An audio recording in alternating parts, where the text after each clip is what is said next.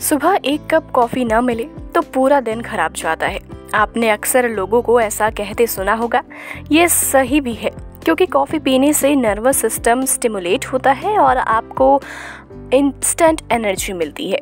ये थकान को दूर करने और फोकस बढ़ाने के लिए बहुत ही प्रभावी उपाय है।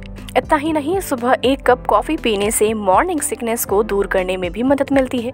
लेकिन अक्सर लोग एक सवाल काफ़ी पूछते हैं कि कॉफ़ी चेहरे पर लगाना तो काफ़ी फ़ायदेमंद होता है और त्वचा की कई समस्याओं को दूर करने में भी मदद करता है।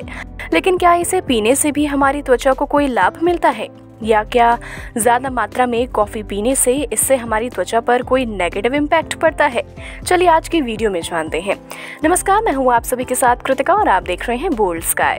डॉक्टर्स की माने तो कॉफ़ी का सेवन संपूर्ण स्वास्थ्य के लिए बहुत लाभकारी है। त्वचा पर इसके प्रयोग के समान ही कॉफ़ी पीने से भी आपकी त्वचा के लिए कई तरह के फ़ायदेमंद साबित हो सकते हैं। बशर्ते आपको इसका सीमित मात्रा में और बहुत कम चीनी के साथ सेवन करना चाहिए। इसके अलावा हमेशा कोशिश करिए कि आप सुबह खाली पेट इसके सेवन से बचें। ऐसा इसलिए क्योंकि कई बार खाली पेट कॉफ़ी का सेवन करने से पेट में गैस और अन्य गैस्ट्रिक समस्याएँ हो सकती हैं।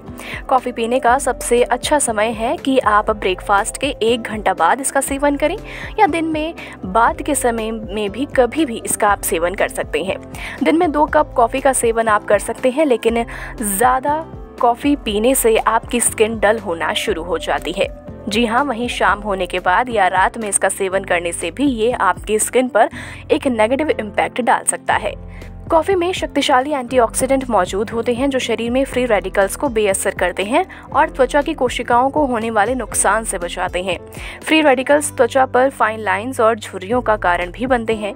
ये आपको जल्द बूढ़ा बनाते हैं। ऐसे में कॉफ़ी का सेवन करने से शरीर में ऑक्सीटोसिन स्ट्रेस को कम करने में मदद मिल सकती है, इसलिए कॉफ़ी को एंटी एजिंग भी माना जाता है। लेकिन वहीं अगर आप इसके उलट कॉफ़ी का ज़्यादा मात्रा में सेवन करते हैं तो ये आपके स्किन के सेल्स को डेड कर सकता है, जिसकी वजह से आपकी स्किन डल दिखना शुरू हो सकती है।